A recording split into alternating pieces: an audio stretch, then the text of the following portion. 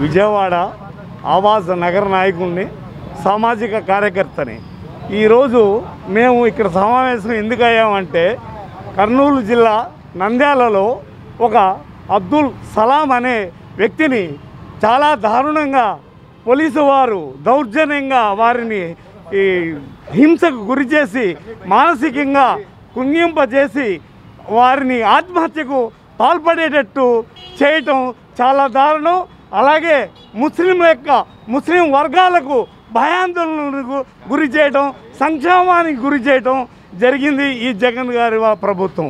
తర్వాత ఆయన కుటుంబం ఒక సెల్ఫీ తీసి బయట పెట్టిన తర్వాత ప్రభుత్వం వారు ఒక కంటి తురుపు లాగా ఒక సీఏ సోమశేఖర్ రెడ్డిని అలాగే గంగాధర్ కానిస్టేబుల్ని సస్పెండ్ చేయడం జరిగింది. కానీ అది కరెక్ట్ కాదని నేను చెప్తున్నాను.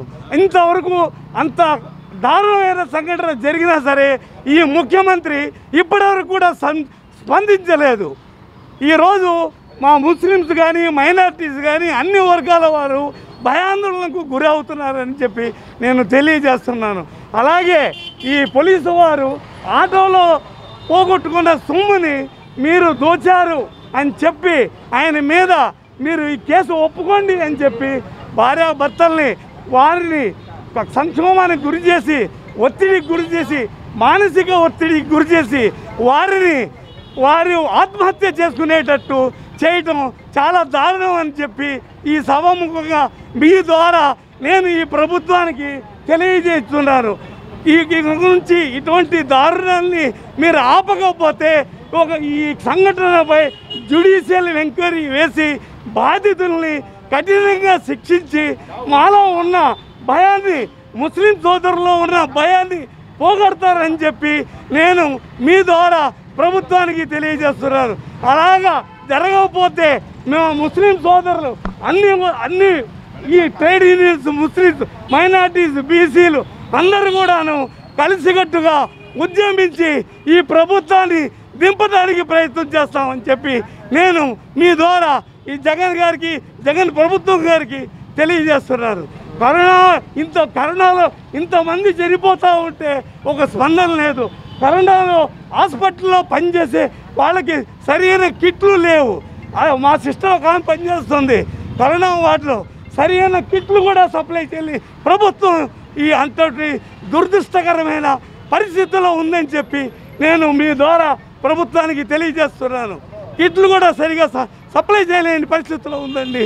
కనీసం చనిపోతే తీసుకెళ్ళిపోయి అక్కడ ఆ క్రిమేషన్ చేసేస్తున్నారు మూట కట్టి.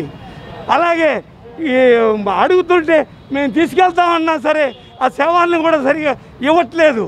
కొంతమంది ముస్లిం సోదరులు వెళ్ళి మేము చేస్తాము ధన సంస్కారాలు మేమంతా చేస్తామని మా యొక్క డబ్బులతో మేము కిట్లు కొని వాళ్ళ యొక్క ధన సంస్కారాలు చేస్తున్నాము అని తెలియజేస్తున్నాం.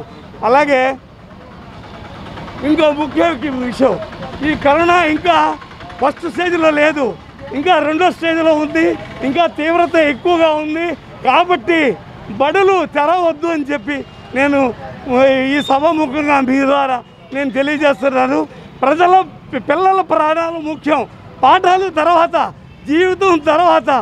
ముందు బతికితే వారి భవిష్యత్తు ఉజ్వల భవిష్యత్తు అవుతుందని చెప్పి మీ ద్వారా నేను నేను ప్రభుత్వానికి హెచ్చరిస్తున్నాను తెలియజేస్తున్నాను. అయ్యా జగన్ గారు ఇకనైనా మీరు మనసు మార్చుకొని మంచి కార్యక్రమాలు చేస్తారని చెప్పి నేను మీ ద్వారా ఈ జగన్ గారికి నేను నమస్కరిస్తూ తెలియజేస్తున్నాను.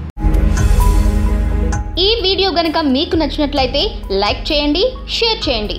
మరిన్ని వీడియోస్ కోసం మా ఛానల్ను సబ్స్క్రైబ్ చేయండి.